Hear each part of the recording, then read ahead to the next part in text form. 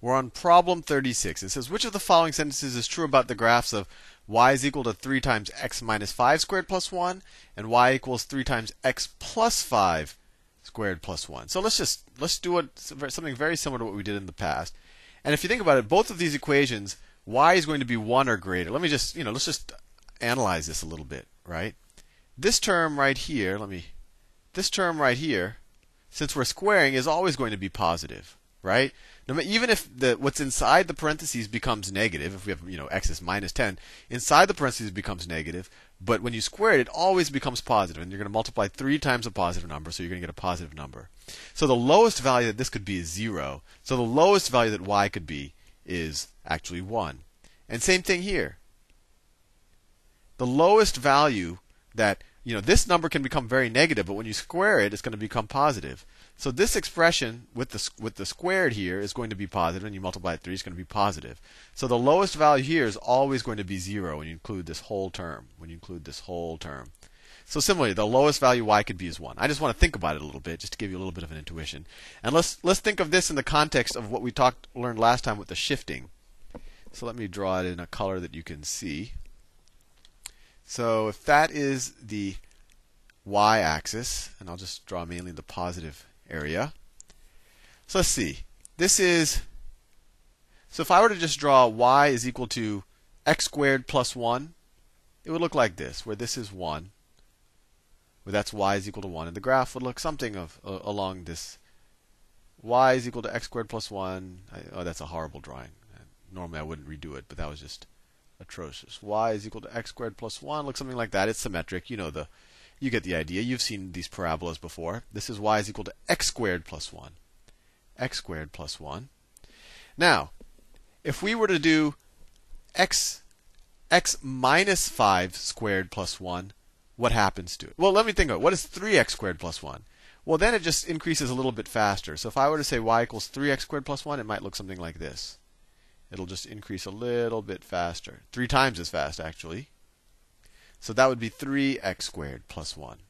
Right? The rate of increase in both directions just goes faster because you have this constant term 3 out there multiplying the numbers. Okay. Now what happens when you shift it? When you shift it. So let's do x minus 5. So where x equals 0 was the minimum point before, now when if we substitute a 5 here, that'll be our minimum point, right? Because then that whole term becomes 0. So this vertex will now be shifted to the right let me do another color. So if this is the point 5, now this would be the graph. If You just took this graph and you shifted it over to the right by 5. I won't draw the whole thing. That graph right there would be 3 times x minus 5 squared plus 1. And remember, the, the y shift is always intuitive. If you add 1, you're shifting it up. If you subtract 1, you're shifting it down. The x shift isn't. We subtracted 5 x minus 5. We replaced x with x minus 5, but we shifted to the right. And the intuition is there is because now plus 5 makes this expression 0. So that's 3x minus 5 squared. And then the same logic, 3 times x plus 5 squared is going to be to here, plus 1.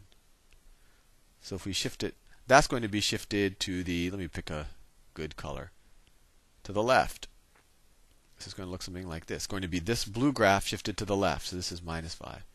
So this is the graph right here of 3 times x plus 5 squared plus 1. Now, hopefully you have an intuition, so let's read their statements and see which one makes sense. Which of the following is true?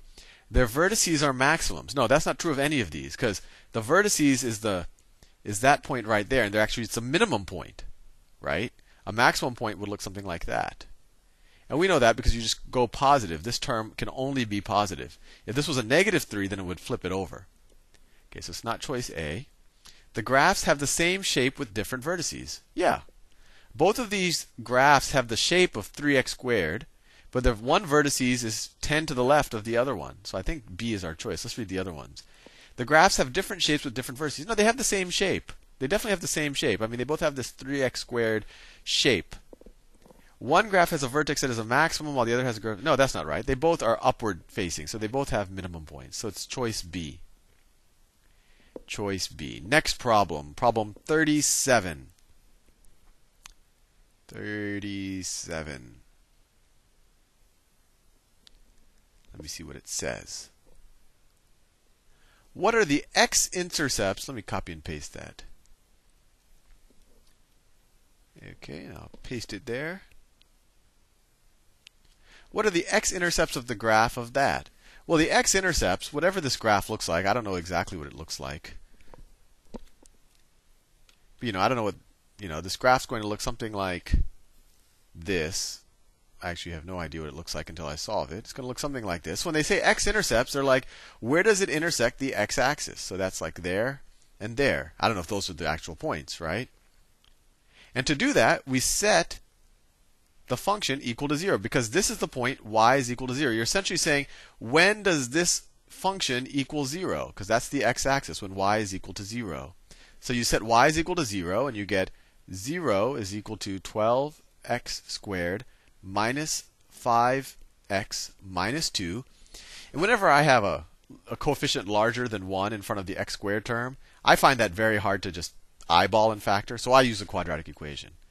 So negative b, this is b, b is minus 5. So negative negative 5 is plus 5, right? Negative b plus or minus the square root of b squared, negative 5 squared is 25, minus 4 times a, which is 12, times c, which is minus 2, times minus 2. So let's just make that times plus 2 and put the plus out there, right? Minus times minus is a plus. All of that over 2a. All of that over 24. 2 times a. So that is equal to, let me see, 5 plus or minus the square root. See, it was 25 plus 4, ti- 4 plus 12, 4 times 12 times 2, right? Because that was a minus 2, but we had a minus there before. So 8 times 12, so 96. 96, all of that over 24. What's 25 plus 96? That's 101. It's 121, right? This is 121, which is 11 squared. So this becomes 5 plus or minus 11 over 24. So, remember, these are the points where, these are the x values where that original function will equal 0. It's always important to remember what we're even doing. So let's see. So if x is equal to 5 plus 11 over 24, that is equal to 16 over 24, which is equal to 2 thirds. That's one potential intercept. So, you know, maybe that's right here, right? That's x is equal to 2 thirds, and y is equal to 0. And the other value is x is equal to 5 minus 11 over 24. And that's what? Minus 6 over 24, which is equal to minus 1 fourth which could be this point. I actually drew the graph not that far off of what it could be. So this would be x is equal to minus one fourth. And those are the x-intercepts of that graph. Let's see, two thirds and minus one fourth is choice C.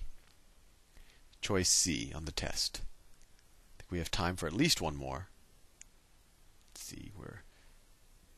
Oh boy, they, they drew us all this graph. So which is the graph? Let me shrink it. I want to be able to fit all the graphs. So let me copy and paste their graphs.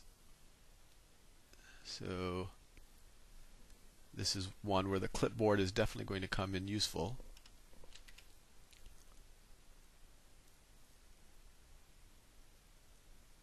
Let me. Oh, it doesn't. Okay, that's good enough. Okay, so they want to know which is the graph of. So let me I've never done something this graphical. Let's see. So the, the graph they say is y is equal to minus 2 times x minus 1 squared plus 1. So that's what we have to find the graph of. So immediately when you look at it, so you say, okay, this is like the same thing as y is equal to minus 2x squared plus 1, but they shifted the x, right? They shifted the x to the right by 1. I know it says a minus 1, but think about it. When x is equal to positive 1, this is equal to 0. And and if so it's going to be shifted to the right by 1, right? Plus 1. We know that. We know that it's going to be shifted up by 1, right? So up plus 1. And then we have to think is it going to be opening upwards or downwards? think of it this way. If this was if this was y is equal to 2x squared plus 1, then this term would always be positive, and it'll just become more and more positive as you get further and further away from zero. So it would open up. But if you put a negative number there, if you say y is equal to minus 2x squared plus 1, then you're going to open downward. You're just going to get more and more negative as you get away from your vertex, right? So we're shifted to the right by 1, we're shifted up by 1, and we're going to be opening downwards. So if we look at our choices, only these two are shifting are opening downwards. And both of them are shifted up by 1. Their y the vertex is at y is equal to 1. But this is shifted 1 to the right, and this is shifted 1 to the left. And remember, we said it was x minus 1 squared. So the vertex happens when this whole expression is equal to 0. And this whole expression is equal to 0 when x minus 1, when x is equal to positive 1. When x is equal to positive 1. So that's right here. So it's actually choice C. And that's probably that's when you're shifting graphs that can be one of the kind of hardest things to ingrain but i just really encourage you to explore graphs, practice gra- practice with graphs with your graphing calculator, and really try to plot points and try to get a, a really good grasp of why when you go from minus 2x squared plus 1 to minus 2 times x minus 1 squared, why when you replace an x with an x minus 1, why this shifts the graph to the right by 1. Anyway, I'll see you in the next video.